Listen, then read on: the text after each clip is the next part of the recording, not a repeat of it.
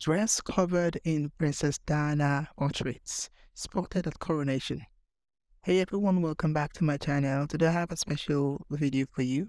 I'm going to show you the most amazing dress that was spotted at the coronation of King Charles III in London. You won't believe your eyes. The dress was covered with portraits of Princess Diana, the late mother of Prince William and Prince Harry.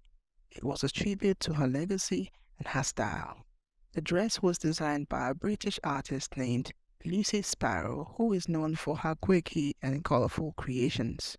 She used fabric and felt to make the portraits, which were stitched onto a white gown.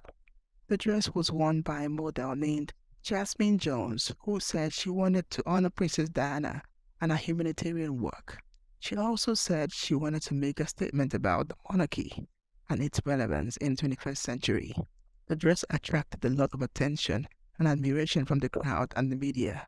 Some people said it was a beautiful homage, while others said it was scornful and inappropriate. The dress was also featured on social media, where it went viral.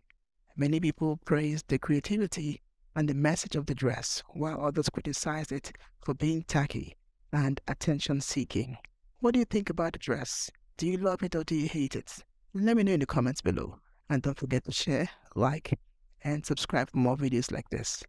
Thanks for watching and see you next time.